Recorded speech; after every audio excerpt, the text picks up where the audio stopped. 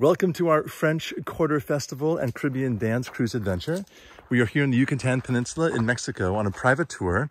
And part of this tour now is where we're visiting this cenote, which is an underground aquifer that was created by the first meteorite that uh, was credited for wiping out the dinosaurs.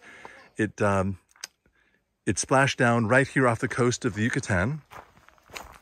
And because of it, there are all these cracks in the Earth's surface that now have, I think there's several hundred different of these cenotes, uh, which have brought up mineral waters and hot springs from below, and they're all quite a bit different.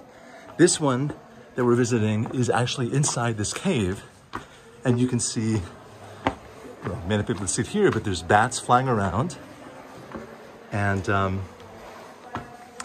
this water down below is just beautiful and warm.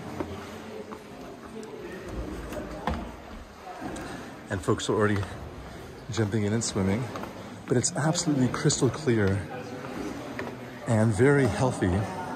And these sites were used as religious sites by the Mayan Indians, and they found artifacts dating back 9,000 years.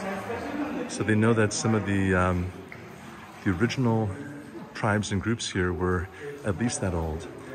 What's unique about this is the stalactites and stalagmites that we also have, and you could swim around them.